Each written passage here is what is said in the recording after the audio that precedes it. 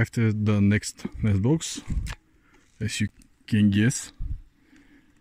Inside we have blue tits but they are I can say ready to go. Uh, I assume they will fledge today maybe or tomorrow. So I'm very happy to see that. Very happy to see that they are successful.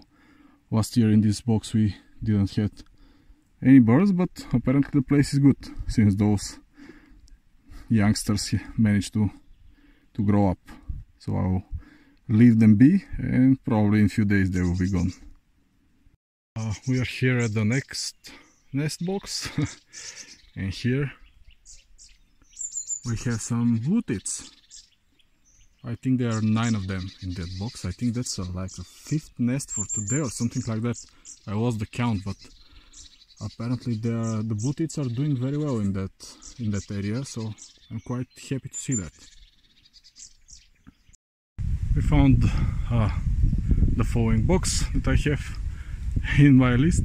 And here I have a very beautiful great family. Uh, the, those are all also almost ready to go.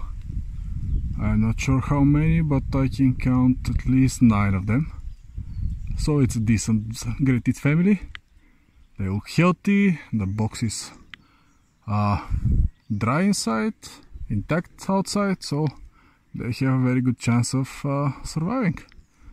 So happy for those little guys.